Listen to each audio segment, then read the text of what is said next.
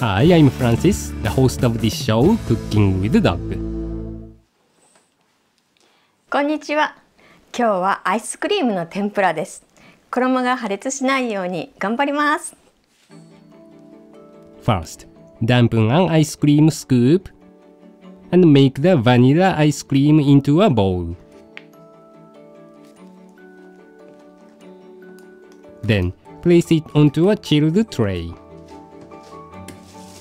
Make the chocolate and matcha ice cream balls as well and store them in the freezer to harden.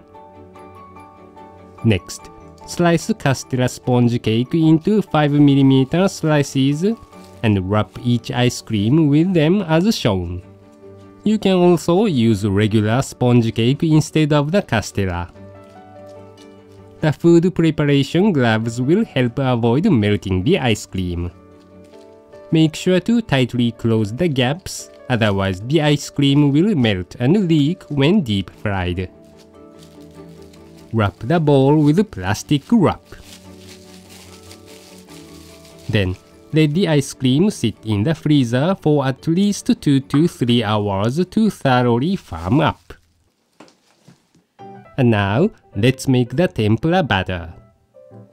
Combine the cold water and cake flour in a bowl. Mix with a balloon whisk.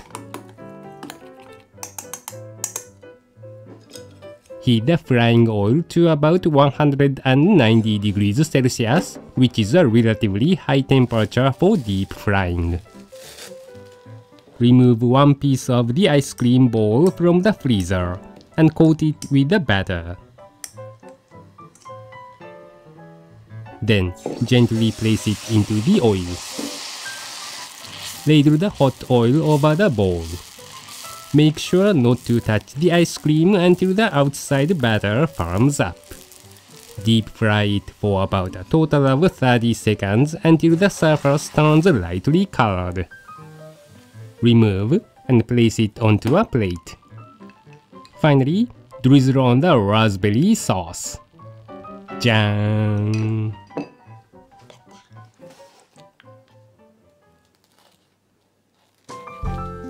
Enjoy the fresh ice cream tempura before the inside begins to melt.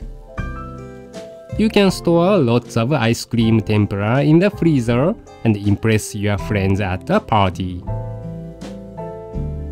カステラが断熱材になって衣は熱々だけどアイスが溶けてない。これは感動です。 The first thing to remember when trying this recipe is tightly wrap the ice cream without any gaps. The second thing is to thoroughly harden the castella wrapped ice cream in the freezer. Good luck in the kitchen! Mm -hmm.